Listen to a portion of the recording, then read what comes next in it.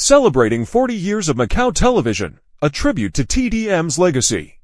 On May 13, 2024, a commemorative sheet was issued to mark the 40th anniversary of television in Macau, a former Portuguese colony in China.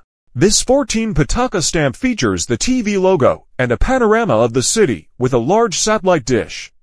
TDM Teledifusão de Macau was founded on January 1, 1982 by the Portuguese colonial government, replacing the Emissora de Radiodifusão de Macau from 1976.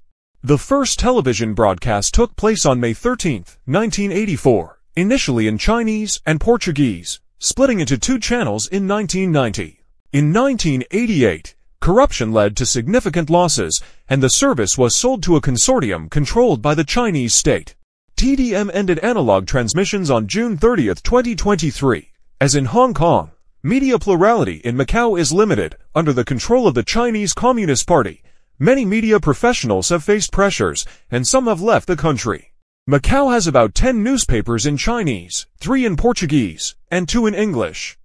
In radio and television, Portuguese broadcasting has a significant presence, and programs are broadcast in English, Indonesian, and Tagalog for expatriates.